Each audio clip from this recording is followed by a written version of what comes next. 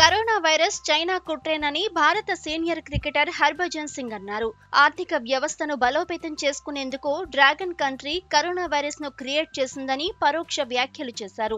ప్రపంచ వ్యాప్తంగా కరోనాను వ్యాపింపచేసి చైనా రాక్షసానందాన్ని పొందుతుందని మండిపడ్డారు. పీపీఈ కిట్లు మాస్కులను అమ్ముకుంటూ వారి ఆర్థిక వ్యవస్థను పటిష్టం చేసుకుంటోందని ఆరోపించారు. ఇదంతా వారి వ్యూహంలో భాగంగానే జరిగిందని శుక్రవారం ట్విట్టర్ వేదికగా ధ్వజమెత్తారు. ఈ నెల ఇరవై ఎనిమిదిన చైనాలో ఒక్క కరోనా కేసు కూడా నమోదు కాలేదనే కథనాన్ని రాయిటర్స్ ట్వీట్ చేసింది. దీన్ని రీట్వీట్ చేస్తూ బజ్జీ చైనాపై తనకున్న ఆగ్రహాన్ని వెళ్ళగక్కారు బజ్జీ ట్వీట్ చేస్తూ ప్రపంచ వ్యాప్తంగా కరోనా వైరస్ను వ్యాప్తి చేసి ప్రతి ఒక్కరూ ఇబ్బంది పడుతూ ఉంటే తీరిగ్గా కూర్చుని పీపీఈ కిట్స్ మాస్కులను ప్రపంచ దేశాలకు అమ్ముకుంటూ వారి ఆర్థిక వ్యవస్థను బలోపేతం చేసుకోవడమే చైనా వ్యూహమని మండిపడ్డారు. ఇక ప్రపంచ దేశాలన్నీ రెండున్నర నెలల పాటు పూర్తిగా స్వీయ నిర్బంధంలోకి వెళ్ళినా ఈ వైరస్ ప్రభావం ఏమాత్రం తగ్గకపోగా మరింత వేగంగా విస్తరిస్తోంది. కానీ వైరస్ పుట్టిన చైనాలో మాత్రం పూర్తిగా అదుపులోకి రావటం పలు అనుమానాలకు తావిస్తోంది. కరోనా వైరస్ చైనా కుట్రలో భాగమేననే ఫీలింగ్ కలుగుతుంది అంటూ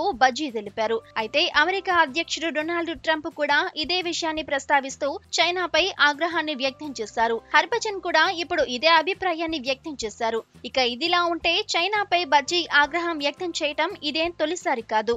గతంలో చైనా నకిలీ పీపీఈ కిట్లను ఎగుమతి చేస్తుందని వచ్చిన వార్తలపై కూడా ఈ సీనియర్ స్పిన్నర్ భగ్గుమన్నారు. వెంటనే చైనా ఉత్పత్తులను నిషేధించాలన్నారు. ఉద్దేశపూర్వకంగానే చైనా నకిలీ కిట్స్ను తయారు చేసి దేశాలకు పంపిస్తుందని ముందు చైనా దిగుమతులను బాయ్కాట్ చేయాలని మనం వారికన్నా అద్భుతమైన కిట్స్ను తయారు చేసుకోగలము అంటూ బజీ అభిప్రాయాన్ని వ్యక్తం చేశారు.